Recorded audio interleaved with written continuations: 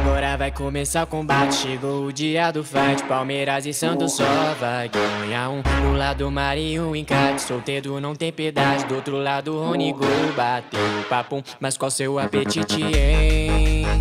Agora a eterna é de quem? Só vale dizer um.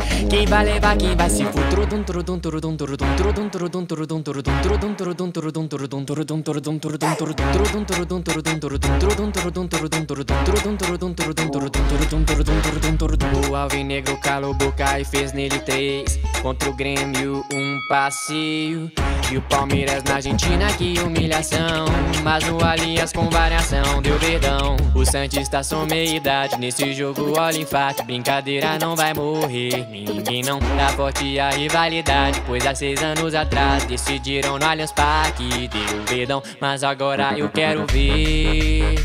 Agora a eterna é de quem? Só vale dizer um.